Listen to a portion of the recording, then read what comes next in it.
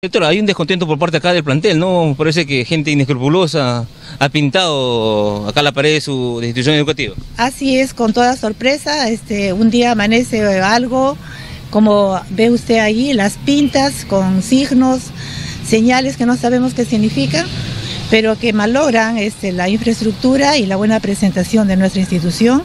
Otro día este, tiran piedras, han roto varias veces la luna, de las ventanas, que ahora se las está tratando de poner protector. Aún así golpean las lunas de la parte alta.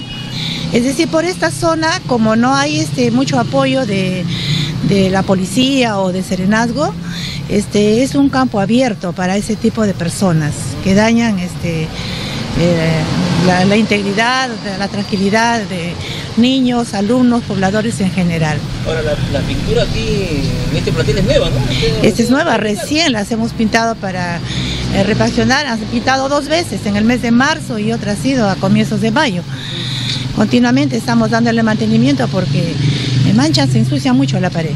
Se va a tener que volver a pintar y hacer otro Ahora, nuevamente, otro trabajo, otro gasto. Que no queda lo mismo, ya queda de otro color. Ya no queda, pues, de todas maneras es una, una molestia.